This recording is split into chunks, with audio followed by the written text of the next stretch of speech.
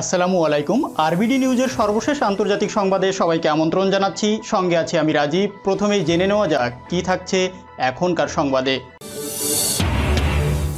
নজর লাদাখে দক্ষিণ ভারতীয় জলসীমায় চীনা জাহাজ। ইয়েমেনে বর্বর হামলার দায়ে সৌদির বিরুদ্ধে ভয়ঙ্কর পদক্ষেপ ইউরোপীয় ইউনিয়নের।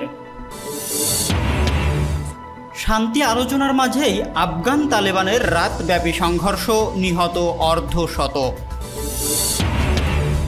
ইরান ইস্যুতে আন্তর্জাতিক অস্ত্র নির্মাণ কোম্পানিগুলোকে নিষেধাজ্ঞার হুমকি দিল ওয়াশিংটন। এবং সর্বশেষ থাকছে, ইসরায়েলি অপরাধ যজ্ঞে সহযোগিতা করছে আরব বিশ্বাসঘাতকেরা, দাবি ইরানি স্পিকারের।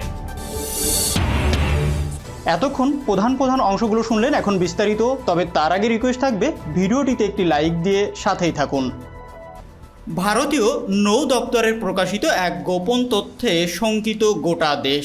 লাদাখ সংঘাত ঘিরে গোটা ভারতের নজর যখন উত্তরে, তখন দক্ষিণের জলসীমায় ঢুকে পড়ে চীনের গণবিধ্বংসী জাহাজ ইউয়ান ওয়াং। পনেরো জুনের সংঘর্ষের পর লাদাখ পরিস্থিতি দুই দেশের মধ্যে সংঘাতের পারদ চড়ে। দেখা যায় উনত্রিশ এবং তিরিশে আগস্ট ফের একবার লাদাখের প্যাংগং এলাকা বরাবর আগ্রাসন দেখাতে রাতের অন্ধকারে চলে আসে চীনা সেনাবাহিনী। এদিকে ওই আগস্ট মাসেই চীন ভারতের জলসীমায় ঢুকেছিল বলে খবর। ভারতীয় নৌসেনা সূত্রের খবর, মালাক্কা প্রণালী থেকে সোজা চীনের ওই জাহাজ ভারতের জলসীমায় প্রবেশ করে। ভারতের জলে জাহাজের গতিবিধি দেখেই ভারতের নৌসেনা তাকে নজরবন্দি করে ফেলে। নৌসেনা র্যাডারে গোটা বিষয়টি ধরা পড়ে। ক্রমাগত জাহাজের গতিবিধি ট্র্যাক করে নৌসেনা। এর কিছুদিন পরেই জাহাজ চীনের দিকে চলে যায় বলে খবর। চীনের এই জাহাজটি কোনো যুদ্ধ জাহাজ ছিল না বলে নিশ্চিত করে নৌসেনা। সেটি গবেষণার কাজে ব্যবহৃত জাহাজ বলে খবর।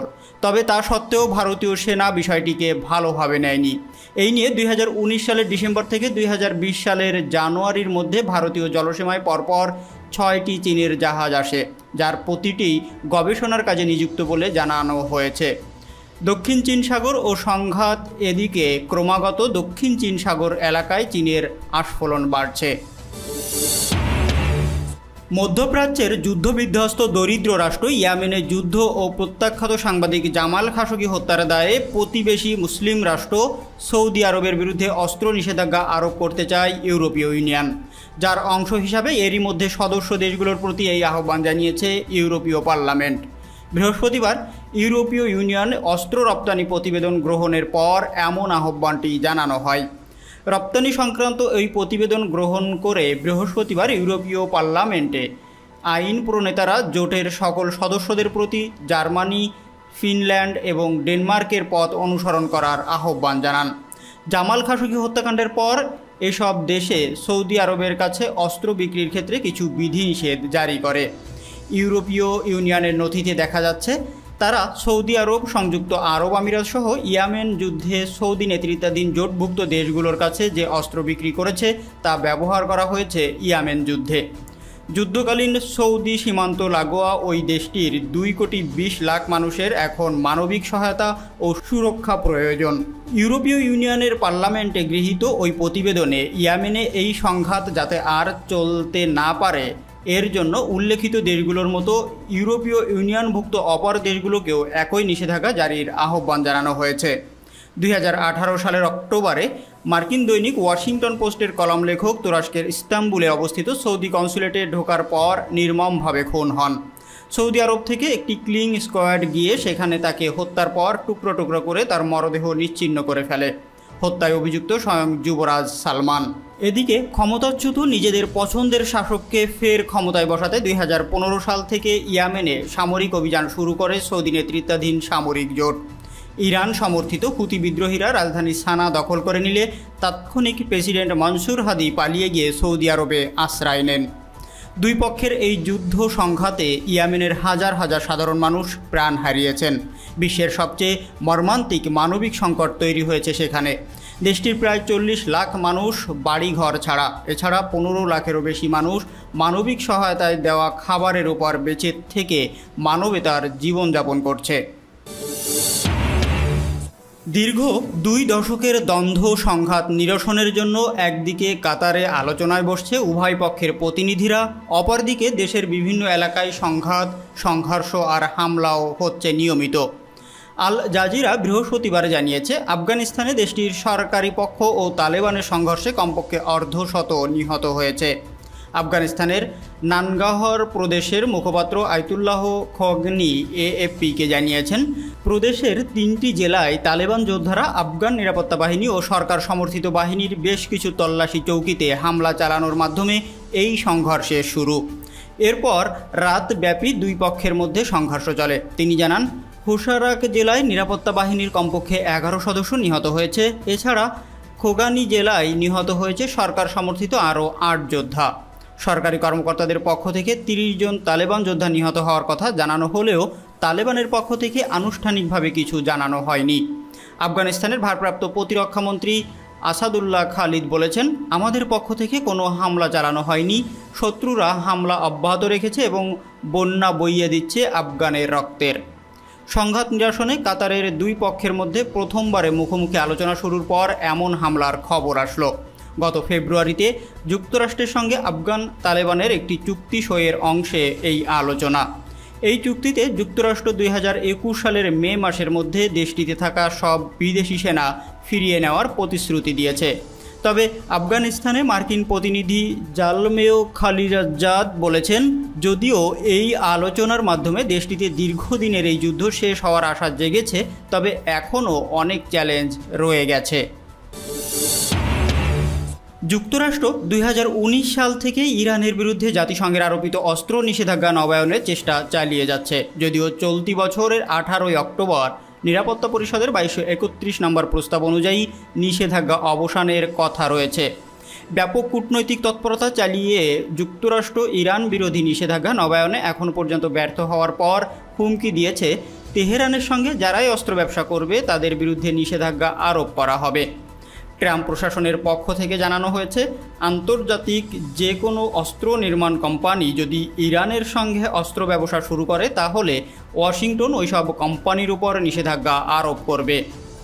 ইরান বিষয়ক মার্কিন বিশেষ প্রতিনিধি অ্যালিউদ আব্রাহাম এই ব্যাপারে বলেছেন, ইরান বিরোধী অস্ত্র নিষেধাজ্ঞার মেয়াদ শেষ হওয়ার সাথে সাথে আন্তর্জাতিক যে কোনো অস্ত্র কোম্পানি যদি ইরানের সঙ্গে সহযোগিতার পদক্ষেপ নেয়, তাহলে তারা মার্কিন নিষেধাজ্ঞার কবলে পড়বে। এমন সময় তিনি এই হুমকি দিলেন যখন মার্কিন পররাষ্ট্রমন্ত্রী মাইক পম্পেও বলেছেন, তার দেশ কোনো না কোনো উপায়ে ইরানের বিরুদ্ধে অস্ত্র নিষেধাজ্ঞা বহল রাখার চেষ্টা করবে। পর্যবেক্ষকরা বলছেন, মার্কিন কর্মকর্তাদের এই ধরনের বক্তব্য থেকে বোঝা যায়, ইরানের ব্যাপারে তারা হতাশ হয়ে পড়েছেন এবং যে কোনো মূল্যে ইরান বিরোধী অস্ত্র নিষেধাজ্ঞা বহল রাখতে তারা বদ্ধপরিকার। ওয়াশিংটন আশা করেছিল, জাতিসংঘ নিরাপত্তা পরিষদে নতুন প্রস্তাব উত্থাপনের মাধ্যমে ইরানের বিরুদ্ধে অস্ত্র নিষেধাজ্ঞার মেয়াদ নবায়ন করা যাবে। কিন্তু অন্য দেশের বিরোধিতার কারণে আমেরিকার সেই প্রত্যাশা পূরণ হয়নি। ইরান ইস্যুতে নিরাপত্তা পরিষদে অনুষ্ঠিত ভোটাভুটিতে শুধু যে আমেরিকার প্রতিদ্বন্দ্বী বৃহৎ শক্তিগুলো, অর্থাৎ চীন ও রাশিয়া মার্কিন প্রস্তাবের বিরোধিতা করেছে তাই নয়, এমনকি নিরাপত্তা পরিষদে ওয়াশিংটনের ইউরোপীয় মিত্র দেশগুলো ইরান বিরোধী মার্কিন প্রস্তাবের প্রতি সমর্থন দেয়নি। ইতালির আন্তর্জাতিক সম্পর্ক বিষয়ক থিঙ্ক ট্যাঙ্কের প্রধান নাতালি চ্যুতি নিরাপত্তা পরিষদের ভোটাভুটিতে আমেরিকার এই ব্যর্থতাকে ট্রাম্প প্রশাসনের বড় ধরনের কূটনৈতিক পরাজয় হিসাবে উল্লেখ করেছেন।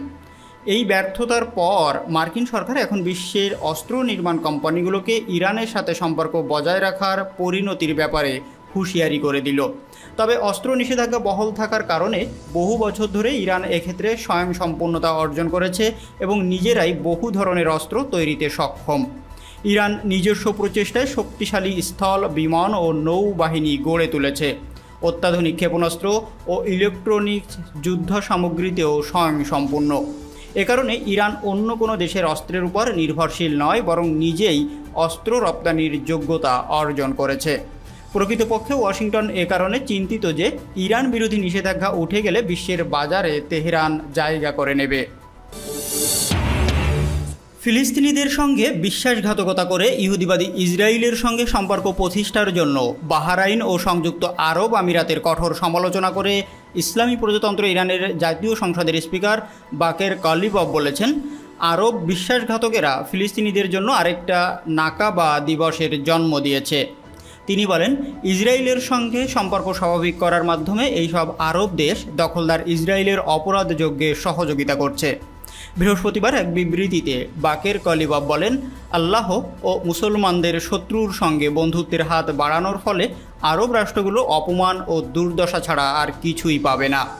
তিনি আরব দেশগুলোকে এই ধরনের কর্মকাণ্ডের পরিণতি ভোগের ব্যাপারেও হুঁশিয়ারি করেন। কলিবাব বলেন, মধ্যপ্রাচ্য টেলিভিশন ও ইলেকশন শোতে কি ঘটছে তা বিশ্ববাসীর কাছে, বিশেষ করে মুসলিম উম্মা, আরব তরুণ ও নির্যাতিত ফিলিস্তিনিদের কাছে মোটেই নতুন কিছু নয়।